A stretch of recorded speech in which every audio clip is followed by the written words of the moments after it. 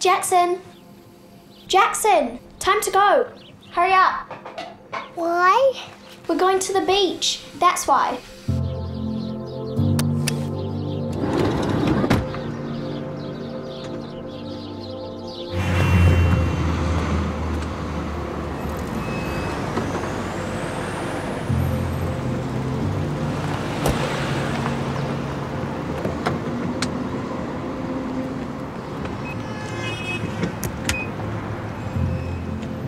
Dad, can we get an electric car?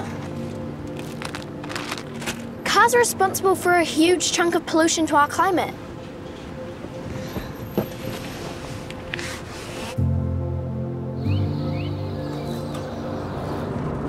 Look, they're planting trees. Why? Climate change. It'll change the way we live. There'll be more droughts, more heavy rainfalls, more extreme weather events. Did you know that, Dad? Trees will help a bit. The pollution is causing it to be warmer. The average temperature in New Zealand has risen by more than one degree Celsius. It doesn't sound like a lot, but it is. It's a lot. The water's getting warmer too. That would be harmful to many fish. The sea level is also rising.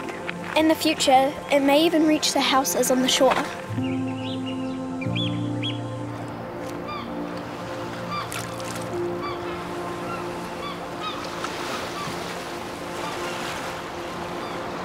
If we don't do enough to keep our pollution under control now, like driving less cars that use petrol, maybe we won't be able to fish pipi here anymore.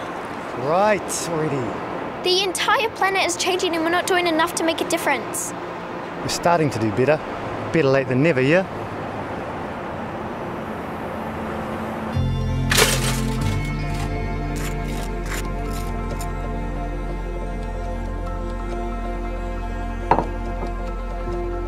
Yeah.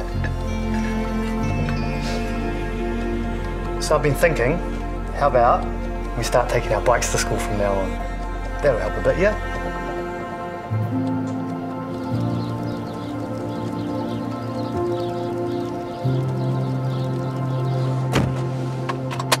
Mama, can we bike to school?